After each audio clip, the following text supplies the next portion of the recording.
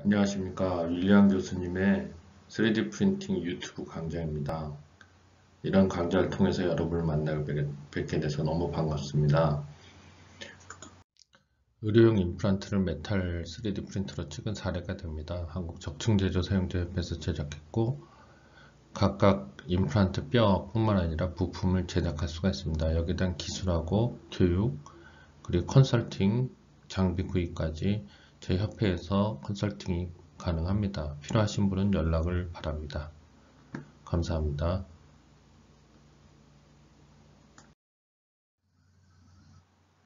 먼저 강의 내용은 제4차 산업혁명과 메탈 3D 프린팅의 미래에 관해서 설명을 드리고자 합니다. 여기서 나왔던, 나오는 additive manufacturing은 3D 프린팅이란 말의 산업적인 용어입니다.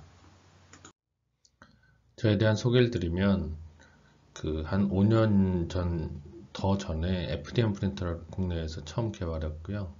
처음은 아니고 이제 사각형으로 된 형태의 프린터를 개발해 보았습니다. 그리고 sand 프린터를 처음 개발했고요. 그런 다음에 그 회사에 들어가서 산업용 메탈 3D 프린터를 성공시켰습니다. 그래서 그 여러 가지 프린터에 대한 개발 경험이 있고 거기에 따른 공정 등 많은 부분에 대한 경험을 가지고 있습니다. 현재 한국적층제조 사용자협회 협회장과 인하대학교 교수를 맡고 있습니다. 그 한국적층제조 사용자협회는 영어 이름은 KAMUG입니다. Korean Additive Manufacturing User Group. additive는 3D 프린팅을 얘기합니다. 그래서 한국 적층제조 사용자협회입니다. additive manufacturing은 3D 프린터이고 user group은 사용자 협회를 의미합니다. 현재 미래 창조부의 허가를 받은 단체이고 현재의 회원 수는 15,437명 정도 됩니다. 장비는 3D Systems의 메탈 3D 프린터 100mm짜리와 그 메탈 윈포시스라는 회사의 250mm 장비를 협력업체와 같이 사용해서 연구 개발하고 있습니다. 메탈 3D 프린팅 시장에 관해서 설명을 드리겠습니다. 먼저 3D 프린팅 시장은 2017년에 약 88억 불, 한국 돈으로 한 9조 정도 시장이 됩니다. 9조면 별로 큰 시장이 아닌데 성장률이 약 31% 정도 됩니다. 그 중에 메탈 프린터는 2017년에 1768대가 팔렸습니다. 근데 2016년에 983대에 비해서 약 80% 이상 성장이 된 게 고속 성장을 하고 있다는 걸 의미하고 있습니다.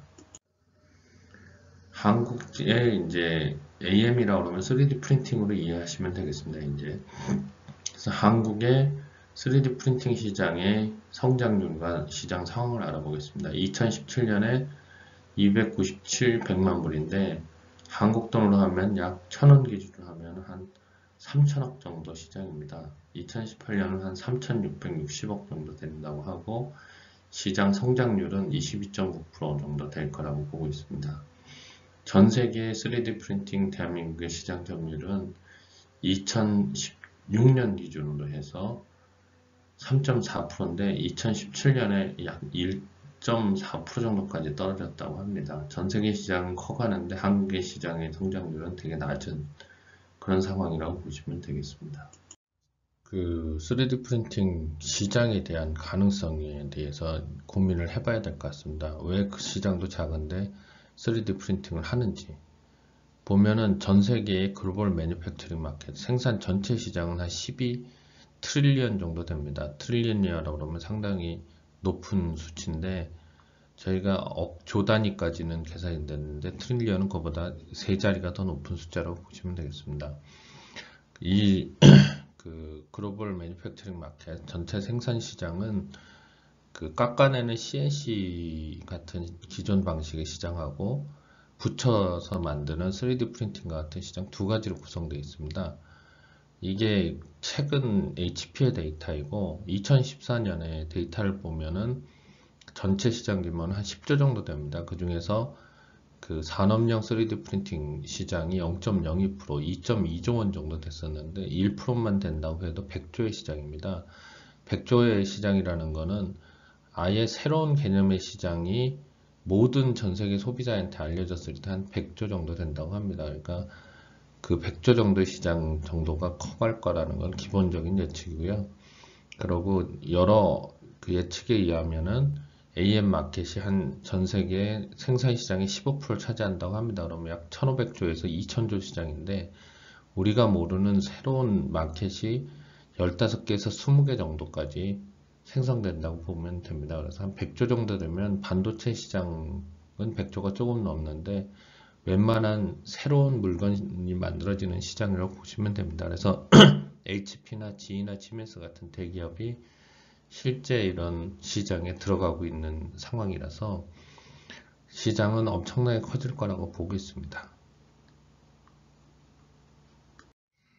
metal additive manufacturing 로드맵입니다. 이것은 앞으로 메탈 3D 프린팅이 어떻게 변할 건지 그래서 세 단계로 나누는데 첫 번째는 현재 상황하고 두 번째는 가까운 미래, 먼 미래 세 단계로 나눠집니다. 그래서 가까운 현재 상황은 MAM 1.0으로 해서 aerospace하고 의료용, 그러니까 항공과 우주 부분에 막 대량 생산이 시작되고 있다는 점이고요.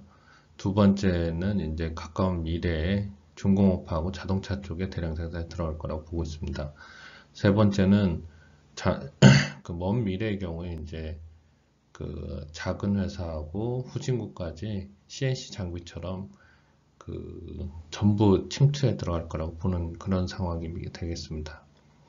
그래서 현재 상황은 3D 프린팅이란 산업은 전 세계에 없습니다. 근데 실제 CNC처럼 기계공업이나 생산이나 이런 곳에 도움을 주는 사업이라고 보면 산업이라고 보면 됩니다. 그래서 주 목적은 주력 산업의 고도화인데 그 미국과 유럽을 중심으로 해서는 항공산업이 발전했습니다. 그래서 미국, 유럽, 일본, 그 다음에 중국, 인도 같이 항공산업이 발전한 나라에서는 지금 3D 프린팅이 아주 각광을 받고 있는 상황이고 의, 의학 쪽도 이제 각광을 받는데 우리나라는 그 항공산업이 없는 관계로 인해 가지고 그 의료용 파트에 이제 주로 나타나고 있다고 보면 되겠습니다.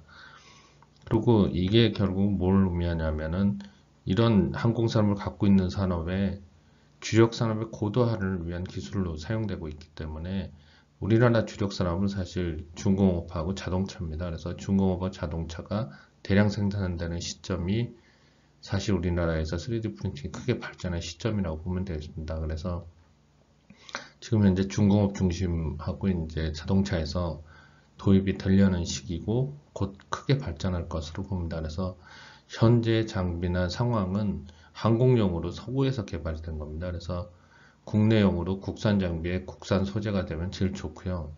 사실은 장비는 아직 그 개발이 완성이 됐다고 하긴 좀 어렵습니다. 왜냐면 산업에 그 적응이 안 된 상태라서 그래서 외산 장비에 국산 소재로 한 다음에 국산 장비에 국산 소재로 갈 것으로 보고 그럴 경우 단가가 이제 중공업하고 자동차에 맞기 때문에 현저하게 발전할 거라고 봅니다. 그래서 우리나라도 엄청나게 큰 3D 프린팅 발전이 있을 거라고 보고 그 이후에는 CS 산업처럼 이제 한 3, 40년 된다면 고도화가 될 거라고 보시면 될 것 같습니다. 그래서 거기에 맞는 준비를 하는 게 중요할 것 같습니다.